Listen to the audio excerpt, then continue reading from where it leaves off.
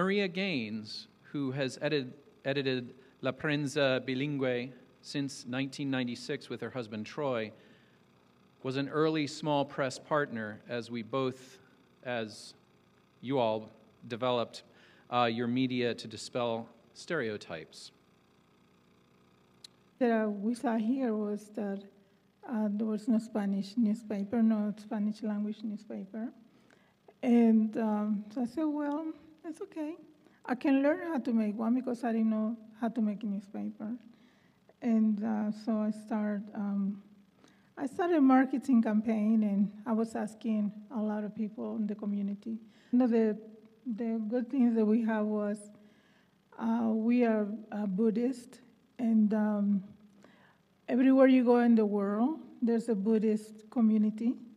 And um, so the first thing that I always go to every any country that I go to is that I find this place. So uh, we had uh, the fortune to have members in the community that would help us.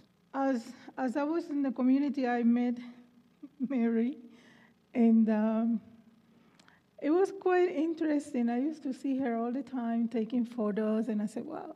It was very encouraging to see her. Most of the time, I see her alone so always that Mary was, would all say, she's a publisher and she was very inspiring.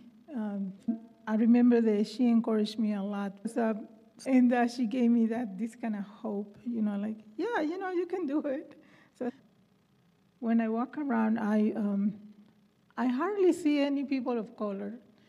And the area that we live, and we were the only person of color the fam- a family of color in the block, actually in the neighborhood. Uh, one of the things that, that, um, that I love about um, the fig tree is that you can find a lot of information. I mean, everybody's been talking about it, and all the information that you find. It, I mean, it talks about diversity, inclusion, and um, all these things that we really need to, for a community to flourish, because it's, it's um, it's very important to have a multicultural community.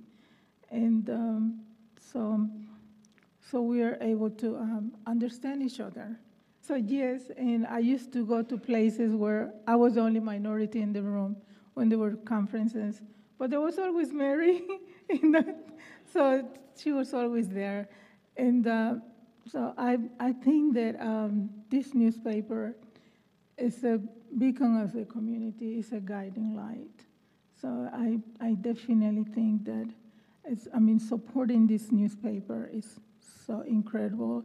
Supporting, I mean, with um, financially or with stories is, is the best thing that we have for this, this community. And so I re- I'm really happy that I met Mary and uh, she really encouraged me in this, since I was new in this community, she really encouraged me a lot. I will leave you with um, the mantra that we say in my religion, which is Nam Myoho Renge Kyo. And uh, so I will say three times Nam Myoho Renge Kyo, Nam Myoho Renge Kyo.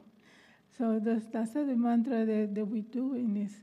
And it's, um, it's very um, powerful, I would say. And that so I really, uh, um, I'm very happy that, that we had this paper there. So thank you so much to all the staff and Mary, I love you. Thank you so much for your support. Thank you.